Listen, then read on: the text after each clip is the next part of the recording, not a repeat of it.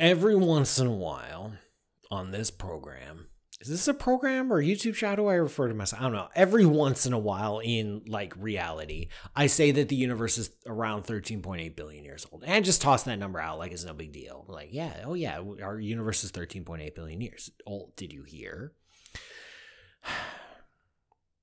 okay, that's fine.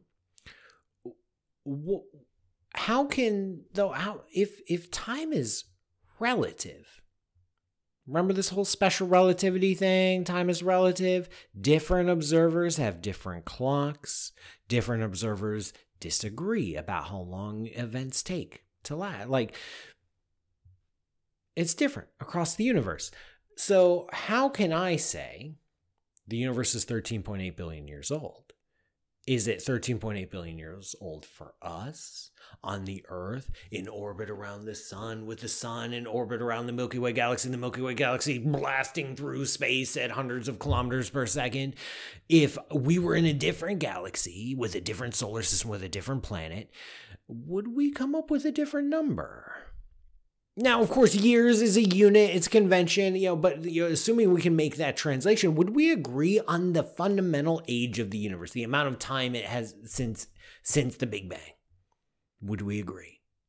If time is relative, well, here's the thing we would.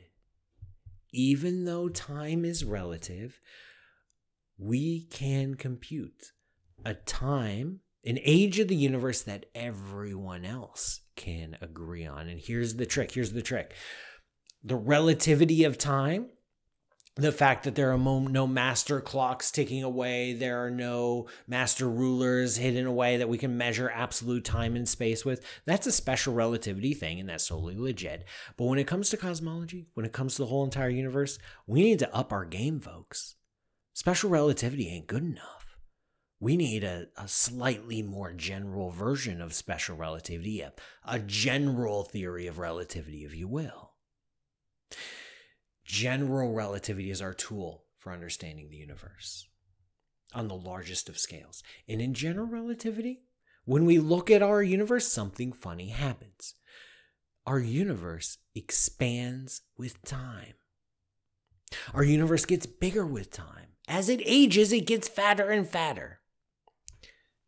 There, this breaks the fundamental relationship between time and space. In our universe, at big scales, time and space act differently. As our universe gets older, it gets bigger. It was different in the past, it'll be different in the future.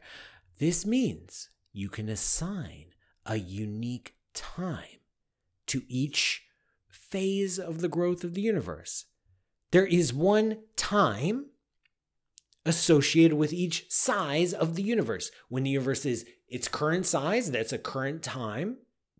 When the universe is half its size, there's a time associated with that.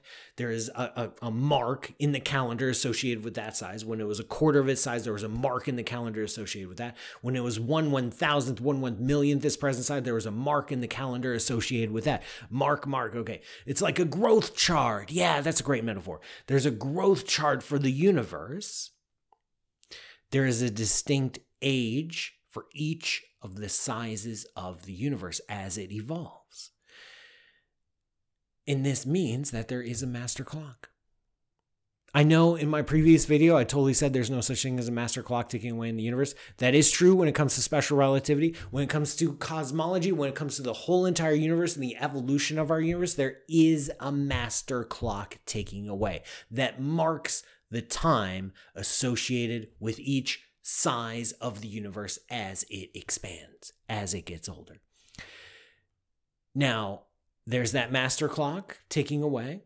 Of course, we have motion on top of that, the motion of our planet and our solar system and the galaxy. This adds or subtracts from that master clock. But because we have general relativity, because we can understand the mathematics, we can work out the time since the Big Bang. We can work out the age of the universe. And if you're to be transported to another galaxy or we to grow up in another galaxy and gain intelligence and start doing all sorts of intelligent things, as long as we could figure out general relativity, As long as we could deduce that we live in an expanding universe, you can perform the exact same set of calculations and arrive at the exact same age of the universe.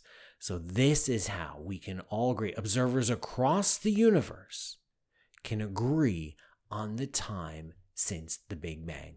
Hope you enjoyed this video. Make sure you like and subscribe and hit the notification, blah, blah, blah. Go to askaspaceman.com for more details. Go to patreon.com slash pmsutter if you'd, you'd like to see more of these shows. Or if you'd like me to stop, also go to Patreon. Contribute like a thousand bucks a month. I'll never make another video again. I'll find other things to do with my life. That may or may not be true, but it'll be interesting if you were to try it. It's a worthy experiment. I'll see you next time. Thank you for watching.